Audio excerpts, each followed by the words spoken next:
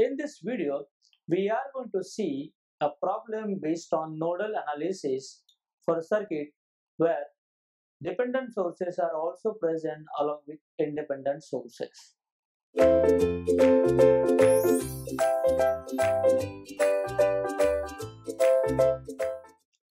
So here is the problem in which we are supposed to determine this current I by using nodal analysis.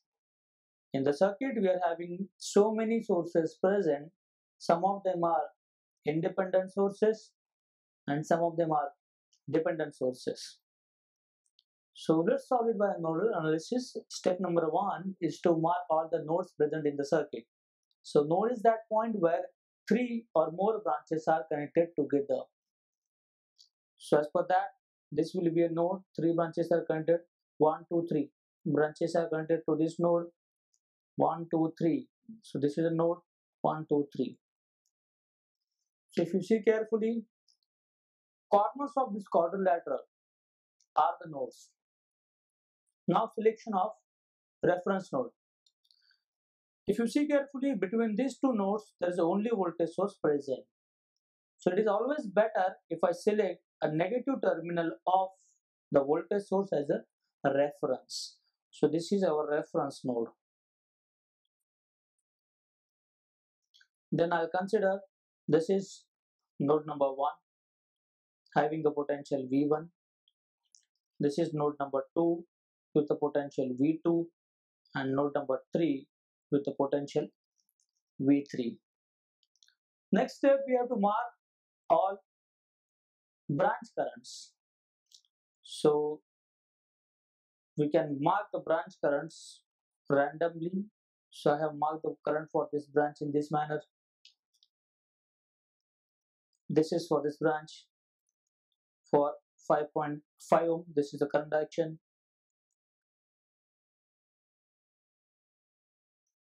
For this branch and current source is present so I will mark the current source direction as per given. Now we are ready for application of Kirchhoff's current law. If you see carefully, between node number 1 and a reference, there is no resistance present, only voltage source is there. That will make our job very easy because I can easily write V1 minus 0 equal to 2.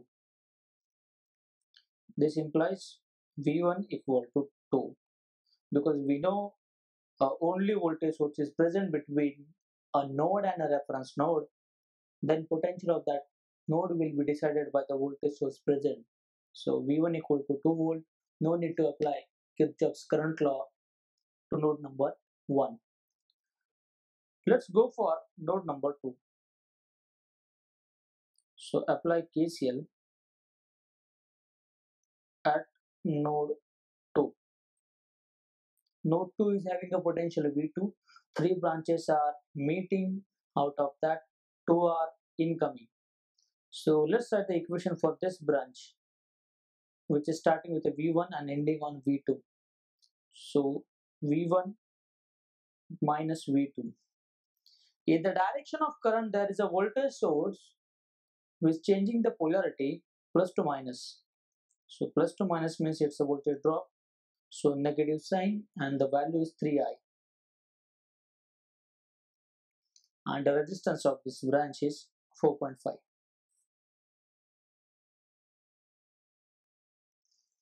Now let's write the equation for this current.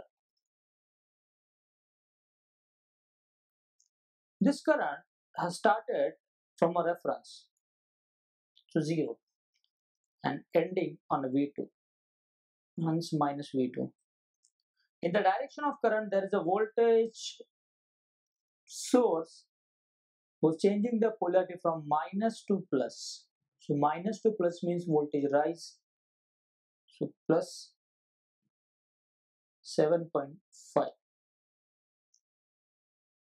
divided by total resistance in the branch which is 1.5 plus 6.5 which is nothing but 8 so this is nothing but a branch current for this particular branch and the only outgoing current is this. So that will be on the right hand side of the equation, starting its journey from V2, ending on V3, and the resistance in the branch is 5.5.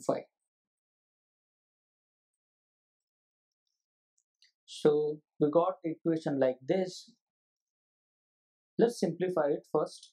So it will be like this.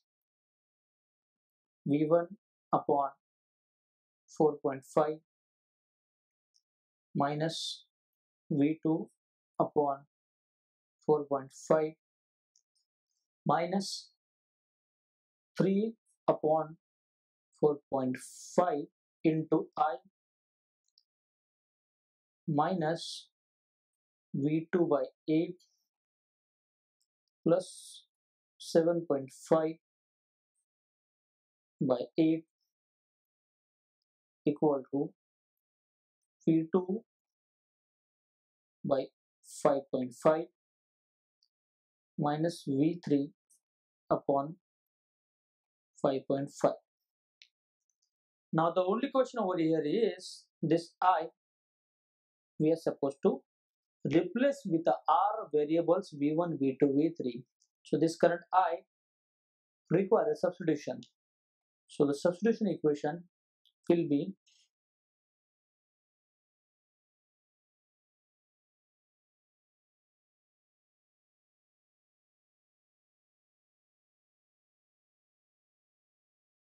this I is the current of this branch and for this branch we have already written the equation in terms of node voltages as 0 minus V2 plus 7.5 divided by 8.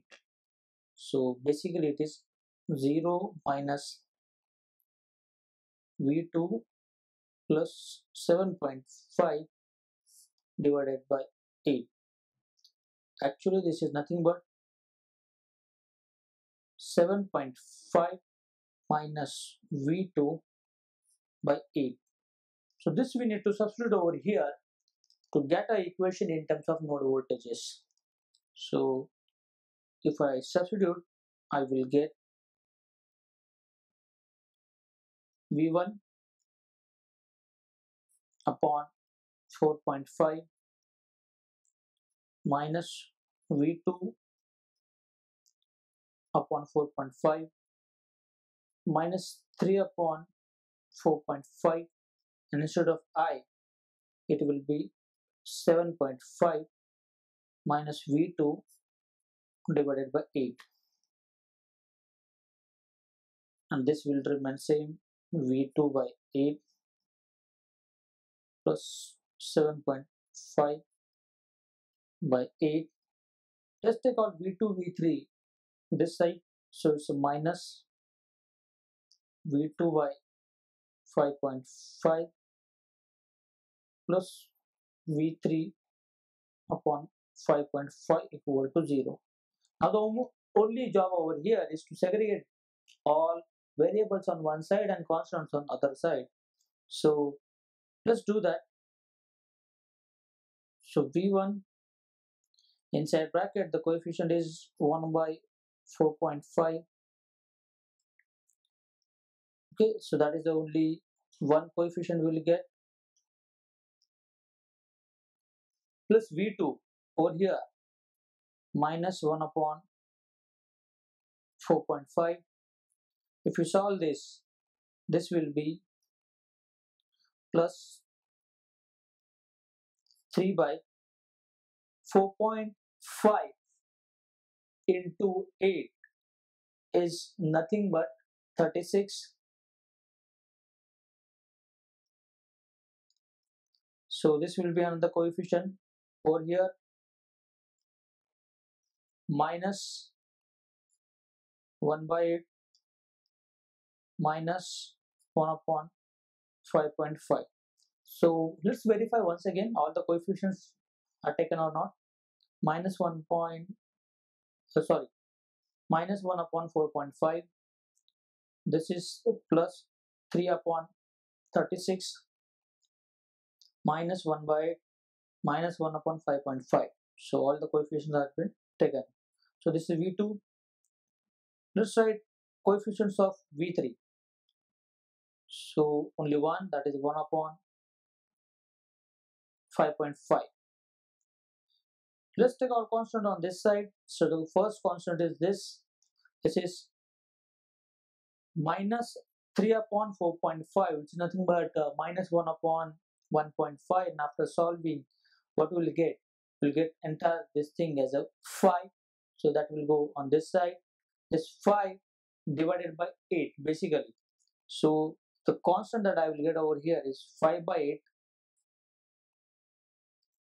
from this and one more constant over here that will be minus 7.5 divided by 8.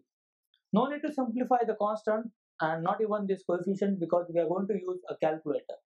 So let's consider this is equation number 2 because uh, this is the equation that we got in terms of our node voltages V1, V2 and V3. And similar manner we can apply Kirchhoff's current law to the node number 3. So let's apply KCL at node number 3.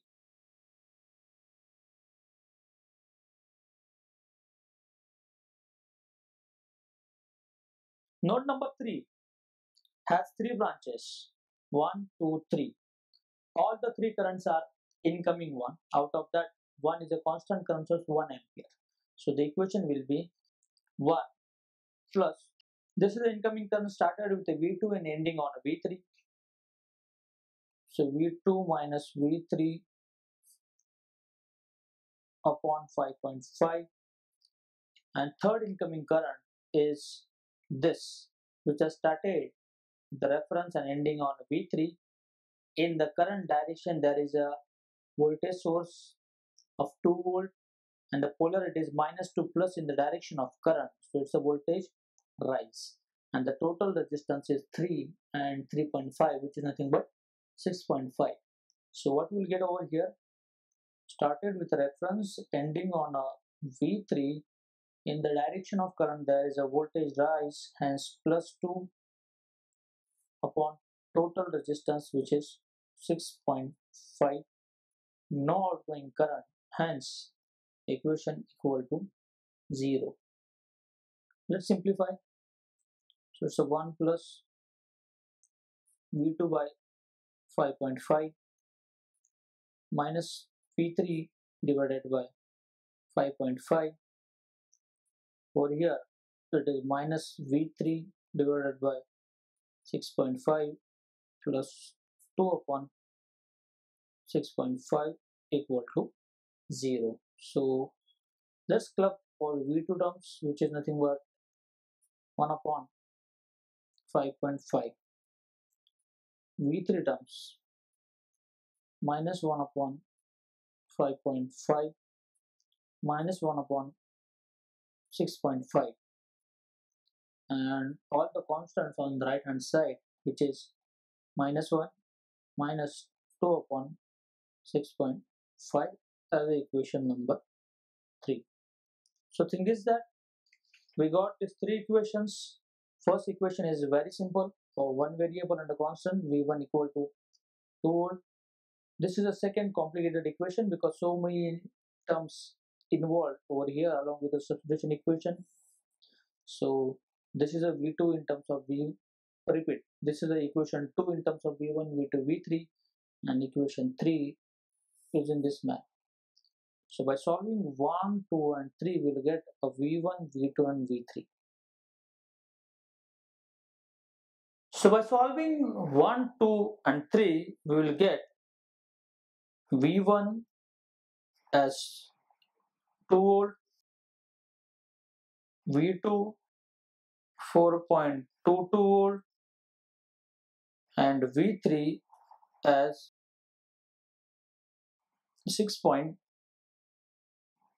6.1817 volt.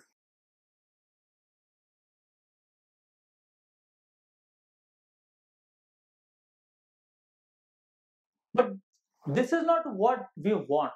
What we want, let's go back to the problem. We want the current I, and current I is nothing but this 7.5 minus V2 upon 8.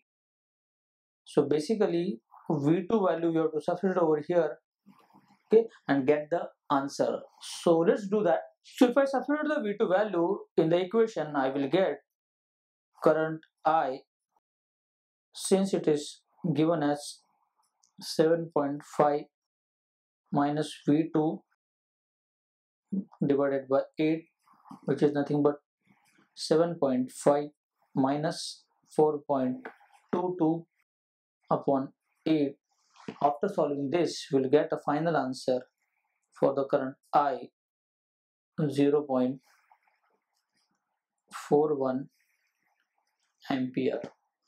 And the direction will be downward as shown in the problem. So this is the final answer. Thank you.